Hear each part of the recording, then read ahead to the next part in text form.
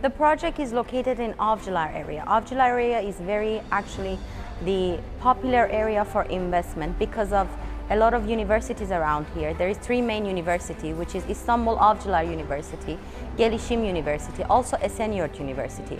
And there is a lot of international universities, so it's a both advantage for living and also investment.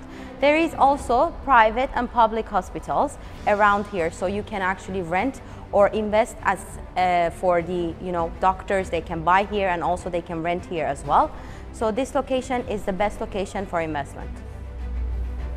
We, in each block, they have their own uh, sport facilities such as gym, yoga salon, also there is a Pilates uh, salon. Also at the back of the project, we have our 1,500 square meter as a green area.